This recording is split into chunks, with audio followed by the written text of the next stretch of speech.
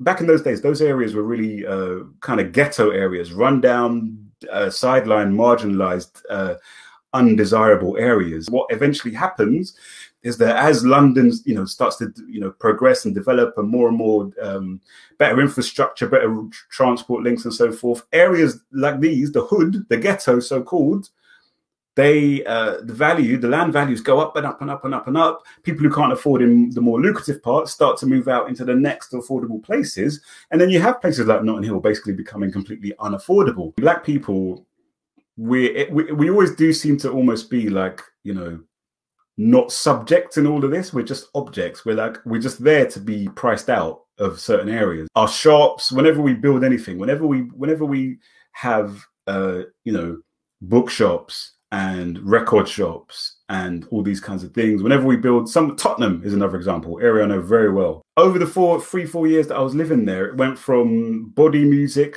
the big body music, you know, then body music, there was there the landlord wanted to kick them out. David Lammy got involved to try and save body music records, and then eventually, last thing I saw in West Green Road, body music was gone, and they had turned into a Costa Coffee. And Tottenham Hale was another one. Tottenham Hale, that's where Mark Duggan was shot, just right near Tottenham Hale. And but you try buying a property in Tottenham Hale, you're you're crazy. It just it's just not going to happen. Again tottenham very black area. It will not be a very black area for very long trust me.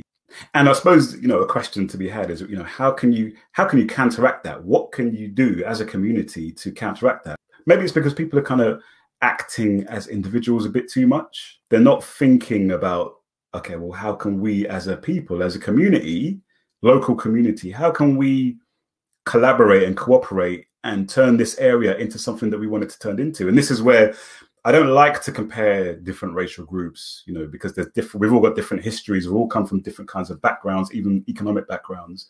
But but that is that is where there is a conversation to be had with regard to Asians, you know, South Asians in the UK, where they've been able to um, turn certain parts of the London and certain parts of other cities in Britain into enclaves that are, you know, well-to-do, so-called. Um, is there something that we can work? I don't know. Uh, we can learn from. I don't know.